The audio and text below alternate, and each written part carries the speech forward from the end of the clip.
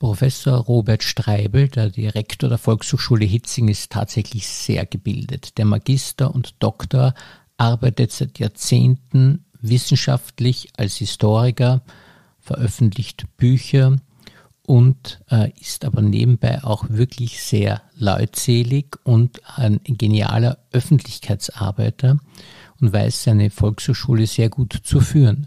So äh, besucht er nahezu jeden Kurs am Beginn, stellt sich vor und bietet den Kursteilnehmern auch jede Hilfe an, die gewünscht wird. Also ein wirklich sehr interessanter Gast für unseren Bezirkspodcast.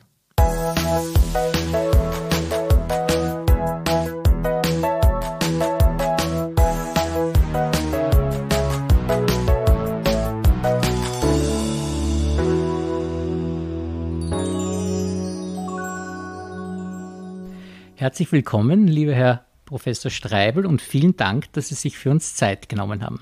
Ich freue mich, dass Sie in die Volkshochschule Hitzing gekommen sind. Ja, und äh, Sie sind hier Direktor und ich denke mal mal wieder nicht so einfach Direktor. Wie war denn da der Weg, dass Sie äh, Direktor tatsächlich von der Volkshochschule geworden sind?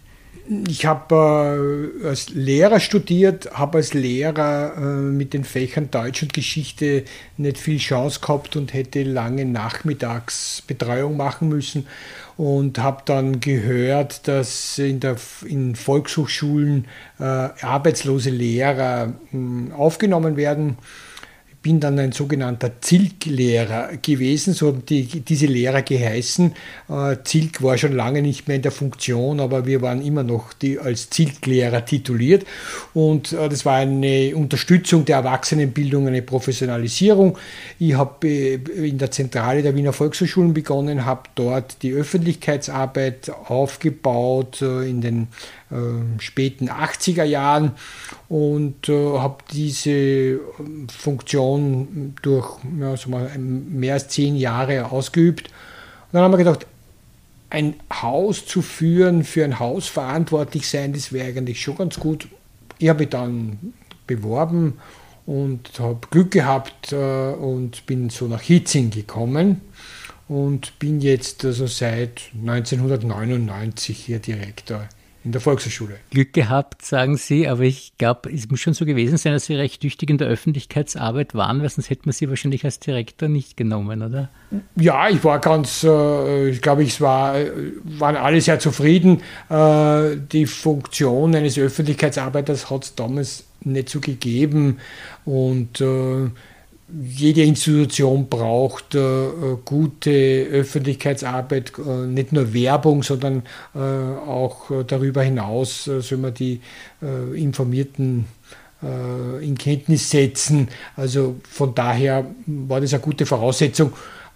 manches Mal, das legt man natürlich nicht ab, die Öffentlichkeitsarbeit, also das ähm, sein Haus gut zu präsentieren, war äh, daher für mich immer eine große Freude.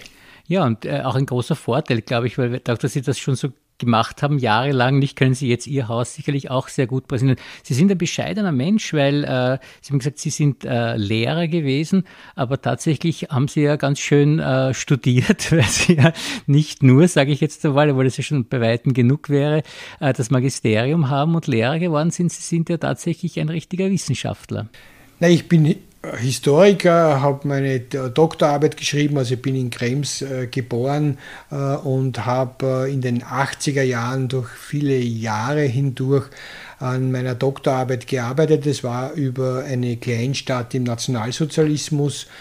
Und das äh, ist ein Thema, das mich bis heute nicht äh, losgelassen hat, äh, weil es sehr vielfältige Berührungspunkte gibt, nicht nur Nationalsozialismus, es ist dann natürlich auch die Geschichte der Jüdinnen und Juden von Krems dazugekommen, die Frage des Widerstands, die Frage der Zwangsarbeiter, die Frage von Kriegsgefangenen. Das heißt, das Thema ist, ähm, obwohl ich das jetzt seit fast 30 Jahren äh, äh, betreibe, beginnend mit Krems, aber nicht nur mit Krems, noch bei weitem nicht äh, äh, erschöpfend behandelt und es gibt immer noch neue Dinge, auf die man stoßt oder auf äh, weiße Flecken, die bisher noch nicht bearbeitet sind.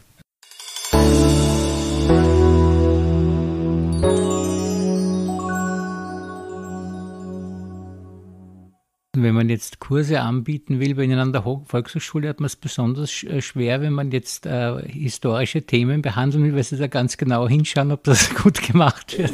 Nein, das haben Sie nicht. Das Problem ist eher, dass, äh, würde ich sagen, dass die historische Fragen als sie die, das Interesse für, für, für das, was in der Volkshochschule angeboten wird, oft äh, verschoben haben gar nicht so leicht ist, dass man dafür Publikum findet. Es ist, geht eher zurück, würde ich sagen, weil äh, gerade die historischen Themen jetzt so vielfältig behandelt werden, dass man dann oft nicht äh, äh, an einer Volkshochschule mehr einen Kurs besuchen muss. Das hat war in der Geschichte sicherlich anders, als eben die Frage der Zeitgeschichte zum Beispiel nicht äh, verschwiegen wurde, da wo es ein, ein Kampffeld, wenn, so will, wenn man so will, war und man sich damit viele nicht auseinandersetzen wollten. Da waren derartige Angebote in den Volkshochschulen sehr gefragt.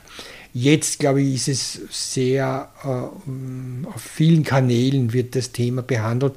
Und da ist es dann oft auch für uns als Volkshochschule schwer, hier hm, noch ein Angebot zu legen. Was sind denn die Renner jetzt an der Volkshochschule? Welche Kurse gehen besonders gut momentan? Also traditionell äh, ist, sind es, würde ich sagen, äh, Sprachen und, ähm, und Bewegung. Das sind die zwei äh, Hauptbereiche.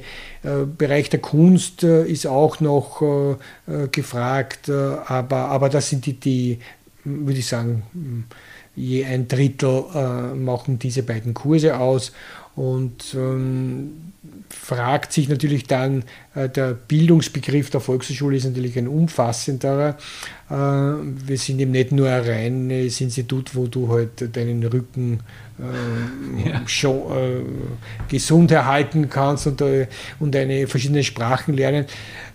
Und daher bin ich auch, auch vielleicht dazu übergegangen, dass es dass man Bildung eben nicht nur, dass es nicht nur einen Kurs braucht, um Bildung äh, zu erlangen oder um Angebote zu machen.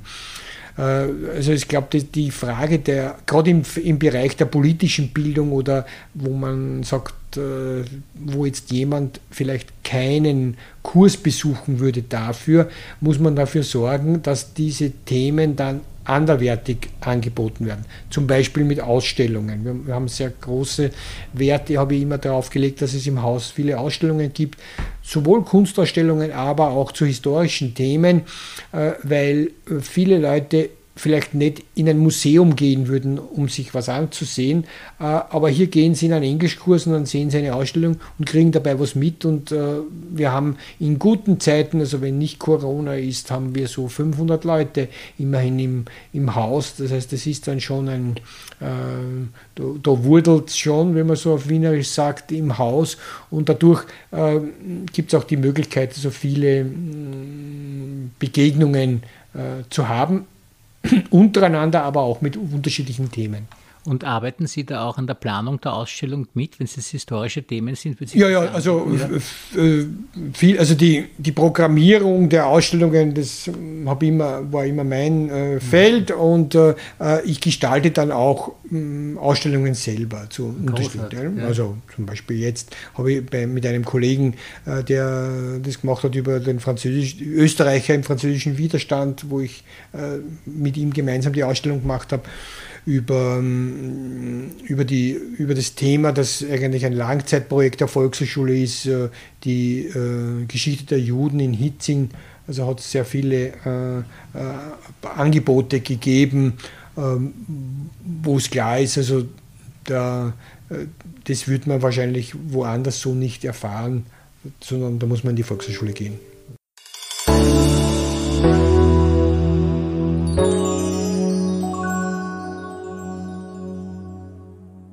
Da erkennt man ja auch den Öffentlichkeitsarbeiter bei Ihnen, weil Sie immer erkennen, dass man da äh, durch die Ausstellungen Leute vielleicht wieder reinbringt, die dann einen Sprachkurs machen. Genau. Oder die Leute, also es gibt, also, man, also ich sage immer, man muss irgendwie äh, auf, auf vielen, in vielen Bereichen Angebote setzen. Ich glaube, in den letzten äh, zwei Jahrzehnten oder länger äh, ist es, glaube ich, mit der Volkshochschule ganz gut gelungen, weil wir haben eine Reihe von, von Dingen, die es eben woanders nicht gibt und die mit uns auch verknüpft werden. Zum Beispiel, wir machen seit sechs, äh, sieben Jahren, heuer zum siebten Jahr, die sogenannten Marathonlesung. Marathonlesung, wir lesen Nobelpreis, wir lesen immer im November äh, die aktuelle Nobelpreisträgerin für Literatur oder den aktuellen Nobelpreisträger und das durch 30 Stunden hindurch laden Leute ein, mitzulesen, also von 9 in der Früh am Freitag bis 15 Uhr am Samstag, im darauffolgenden Samstag, das, das sind 30 Stunden. Eigentlich müssten es 42 Stunden sein, aber da wir die 30 Stunden mit dem Kollegen, mit dem ich das mache, mit dem Gerald Buchers, äh, wach sind, würde ich sagen, das ist die Grenze, das hält man noch aus. Ja? Also quasi 30 Stunden ohne Schlaf, nur Literatur. Und das ist ein Ereignis, wo sich die Leute immer schon freuen, wenn es das wieder gibt. Und es ist ein, eine, ein besonderes Ereignis, wo man das Interesse für äh, Literatur zum Beispiel eben wach hält oder äh, das pflegt. Das ist wie, viel, wie viele Leute gibt es da, die wirklich die 30 Stunden durchhalten? Na, 30 Stunden durchhalten, da gibt es, würde ich sagen, nur zwei. Also, also wir zwei, die wir das organisieren. Und die, die, die Leute lesen dann, jeder liest einen Leseblock von 20 Minuten, bleibt dann noch ein paar Leseblöcke, horcht zu. Wir, wir, also das Ganze wird auch live gestreamt, also das heißt, es ist auch im Internet abrufbar und auch man kann auch zuschauen. Äh, und so von daher haben wir so, würde ich sagen, 700, 800, 900 Zuseherinnen. Und da das nachher dann auch auf noch YouTube abrufbar ist, ist es eine Dauer. Geschichte. Das ist schön, ja. ja. Und, und von den Zuschauern ist also auch keiner die ganzen 30 Stunden dabei. Nein, das, also das, das, das gibt es nicht. Also, das würde ich sagen, ja. äh, wir halten uns mit Literatur wach, aber das ist dann doch nicht. Aber es gibt eben so, man muss jetzt so Dinge machen, die irgendwie außergewöhnlich sind. Wenn man jetzt eine Lesung macht, die zwei, drei Stunden dauert, dann kann man das machen. Aber da geht es auch um den, bisschen um den Ehrgeiz, das äh, durch zu, zu organisieren. Wir haben äh, lesen in der Regel so zwischen 80 bis 90 Personen, die es dann koordinieren muss, die äh, dann mitlesen. Also das ist einfach ein, eine, ein besonderes Ereignis.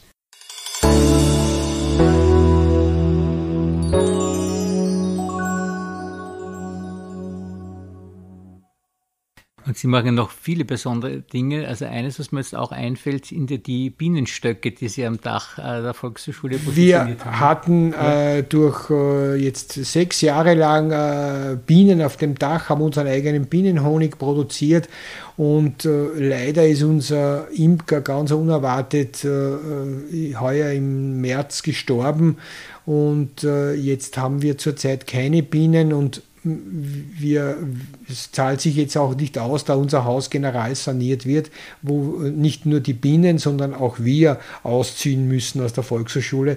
Und äh, äh, daher war dieses Projekt so und so jetzt nur äh, für, für heuer im Herbst befristet, aber leider ist es leider früher zu Ende gegangen, weil wir eben den Imker verloren haben. Und was war, also wer hat da die Idee gehabt? Oder was, ja, die Idee ist eine, eine, eine, eine, das war eigentlich, äh, muss sagen, das ist äh, umfassende Kundinnenbetreuung, würde ich sagen. Wir haben eine, eine, eine, eine Kundin gehabt, die ist in die Zeichenkurse gekommen, das war die Edith Probst. Äh, und die hat ganz in der Nähe in der Lockerwiese gewohnt. Äh, sie ist als äh, junges Mädchen, musste sie oder konnte sie emigrieren nach England und vor den Nazis flüchten. Dadurch hat es zwischen uns auch immer sehr interessante Gespräche gegeben. Und ich habe sie dann eigentlich, wie sie schon älter war und nicht mehr in unsere Kurse kommen, trotzdem immer noch in, ihrem, in ihrer in einer kleinen Wohnung in der Lockerwiese besucht. Ist eigentlich eine Freundschaft entstanden und sie hat gesagt, du, äh, ich werde jetzt dann 90 Jahre und ich will aber keine Vase kriegen und kein Blödsinn. Weißt du was, ich habe einen besonderen Wunsch, ich wünsche mir Bienen, einen Bienenstock in meinem Garten und wenn du mir das organisierst, dann kriegst du auch einen Bienenstock. Und dann haben wir gedacht, eigentlich ist eine gute Idee und habe dann ein bisschen herumgefragt, habe einen super Imker gefunden, der ganz in der Nähe wohnt äh, und der hat ihr den Bienenstock eingerichtet. Sie hat Bienen gehabt, wir haben Bienen gehabt. Also unsere beiden Bienenstöcke haben sich dann praktisch immer wieder getroffen, weil die, die Richtung und die Dimension, die Entfernung passt. Und dann sind aus einem Bienenstock, weil das zahlt sich natürlich nicht aus, sind dann 13 Bienenstöcke geworden, weil wir äh, ja als Volkshochschule im 13. Bezirk sind. Und äh, so haben wir dann unseren eigenen Honig produziert und die Bienen haben im Schnitt so zwischen 400 bis 500 Kilogramm Honig äh, produziert. Das waren natürlich die gelehrigsten und best ausgebildetsten Bienen, weil die sind in einer Volkshochschule ja. zu Hause. Also, und dieses Projekt war dann eben nicht nur ein Bienenprojekt mit dem Honig, natürlich auch Werbung, aber auch, wir haben dann Imkerkurse angeboten, wir haben ähm, vor dem Haus auch Informationen immer wieder gemacht, äh, mit, äh, wie wichtig Bienen sind. Und das war mir eigentlich sehr gut im Trend und die Bienen sind einfach mit dann, und unser Honig ist dann mit uns immer wieder in Verbindung gebracht haben, weil das war ein Volkshochhonig. Ja. Leider gibt es dieses Projekt nicht. Es wird sicherlich nach der Generalsanierung wieder aufgegriffen werden. Warum muss diese Generalsanierung eigentlich gemacht werden? Weil so alt ist das Haus ja noch. Ja, das Haus ist 1974 gebaut und das ist äh, für manche äh, Gebäude dann der Zeitpunkt, wo äh, schon einiges ansteht. Also das heißt, wir haben hier keine ordentliche Wärmedämmung. Die Fenster sind alle defekt, sind auch zu groß. Man kann sie teilweise gar nicht mehr, mehr öffnen, weil man sonst Angst haben muss, sie kommen einem entgegen. Äh, wir haben, die Heizung ist eine Gasheizung, das heißt, wir brauchen eine neue Heizung, äh, die, die behindertengerecht, wir sind zwar behindertengerecht, aber trotzdem nicht nach den neuesten Maßstäben. Der Brandschutz muss gemacht werden. Das heißt, es gibt viele Dinge und die anstehen und da gibt es Gott sei Dank die Unterstützung durch die Stadt Wien, wo das Haus jetzt generalsaniert wird. Wir kriegen eine Wärmepumpe auf dem Dach, äh, wir kriegen eine Photovoltaikanlage auf dem Dach, weil wir sind dann fast ein, so ein mittleres, kleines Kraftwerk, würde ich sagen. Äh, und äh, die Struktur des Hauses bleibt im Großen und Ganzen bestehen. Es gibt einige Verbesserungen, äh, wie dass wir Garderoben und Duschen für die, unsere Tourenkurse bekommen, was auch hoch an der Zeit ist. Ähm, was leider zurzeit ausschaut, wie wenn es es nicht geben würde, ist eine begrünte Fassade. Die hätte ich mir eigentlich immer gewünscht, weil hm, dieses, diese Fassade jetzt ist wirklich ein äh, leuchtet äh, und mit den vielfärbigen Jalousien ist auch ein Markenzeichen des Hauses geworden. Äh, und man dachte, da muss was, wenn was Neues kommt, muss das dem Stand und der zeitgerecht sein. Und was wäre jetzt zeitgerecht als eine begrünte Fassade? Ich, es ist äh, zumindest vorläufig noch, glaube ich, budgetär ist es zurzeit eingespart worden, aber ich werde alles tun, damit es äh, vielleicht doch noch ein Umdenken gibt und auch eine begrünte Fassade gibt.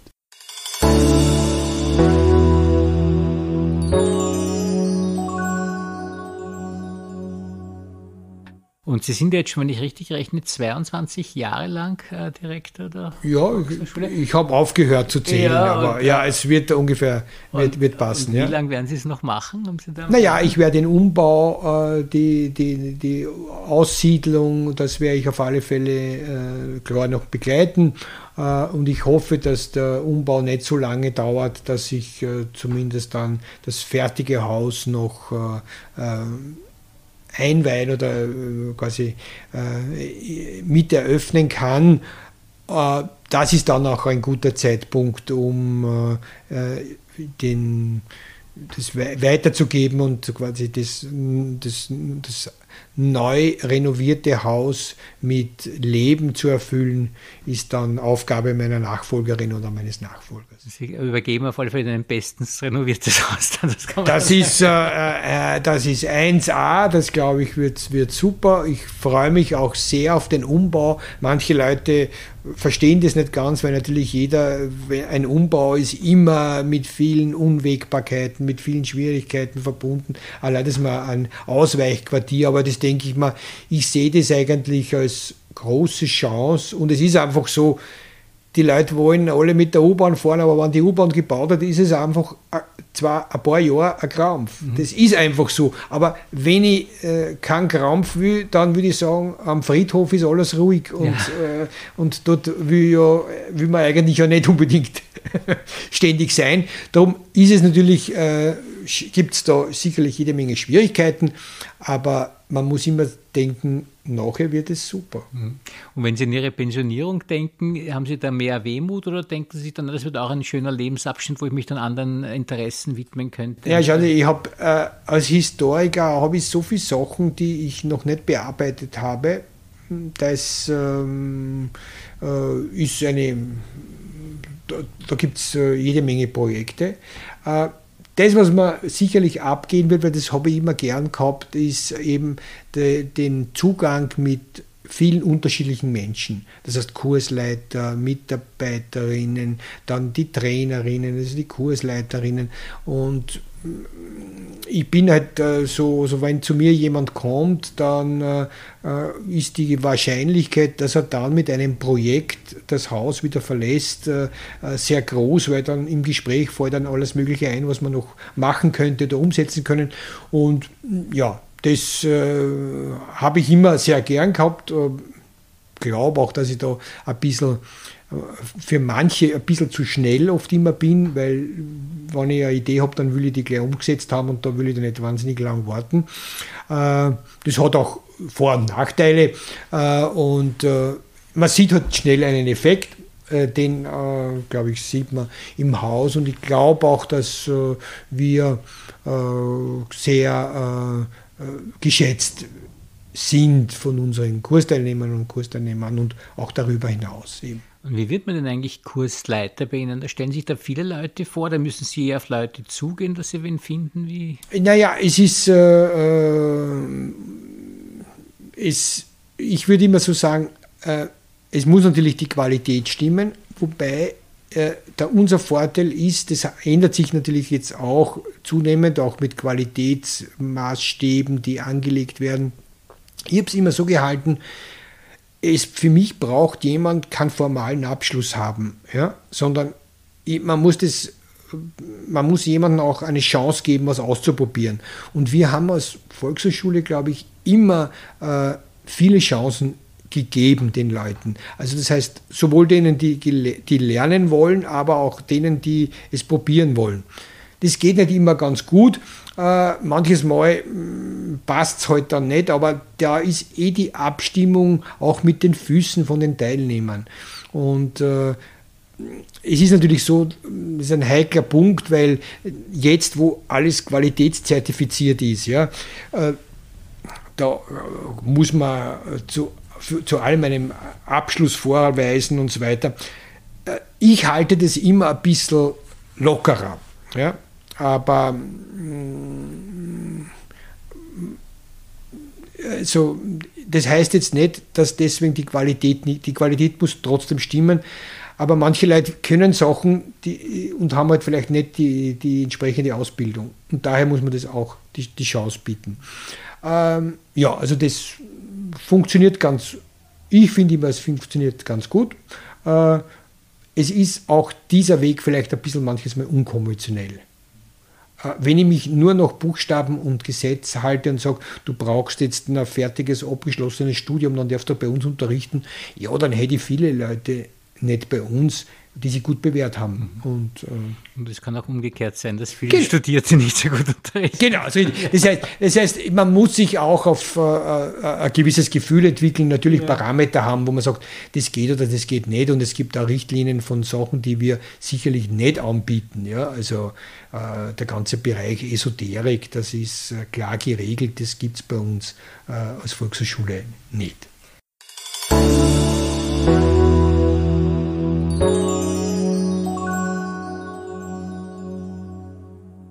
Und der Mensch, der so viel mit Bildung zu tun hat wie Sie, was hat denn der für Fernsehgewohnheiten eigentlich? Fernsehgewohnheiten, naja, äh, ich gebe zu, Corona hat es bewirkt, dass ich jetzt äh, Netflix vertraut bin oder vertrauter, was ich eigentlich als, äh, äh, ich habe es lange Zeit irgendwie gesagt, das brauche ich nicht. Äh, aber es hat einen gewissen Vorteil, sowohl jetzt, was das so fremdsprachige Fernsehen betrifft. Ja, also äh, gibt zu, äh, mir ist die, äh, die Queen in England eigentlich nicht unbedingt äh, äh mein Hauptthema, aber die Sendung Crown habe ich einfach spannend gefunden, weil es einfach auch zeitgeschichtlich nicht uninteressant ist, weil wir zur, wieder zur Zeitgeschichte kommen. Äh, und dann hat man das Ganze nur in Englisch und äh, profitiert davon auch.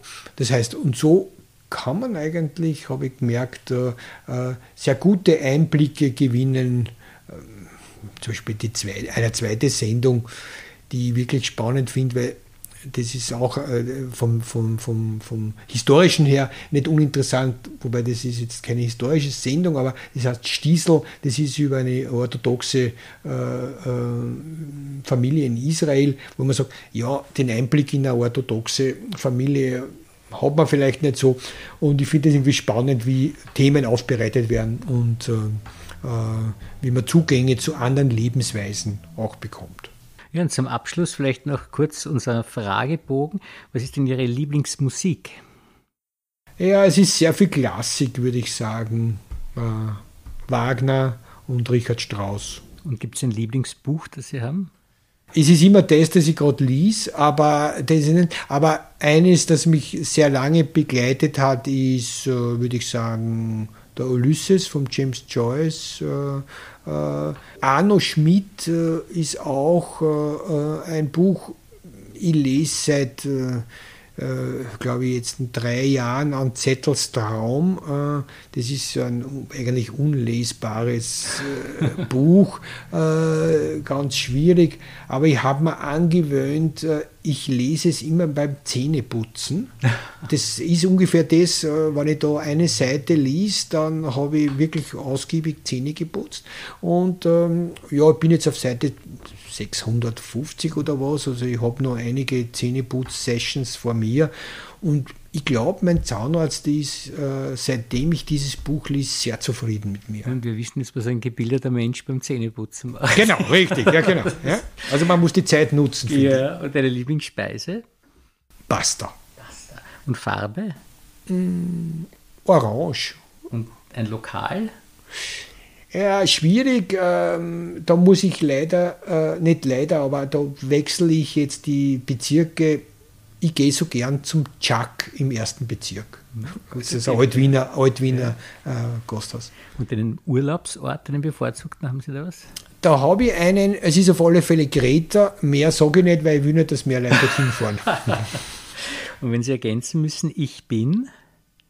Optimist. Mhm. Haben Sie ein Lebensmotto? Ja, ich würde sagen, äh, am Ende wird alles gut und wenn es noch nicht gut ist, dann war es noch nicht das Ende. Das ist ein sehr gutes Motto. Was würden Sie denn auf eine einsame Insel mitnehmen? Welche drei Dinge?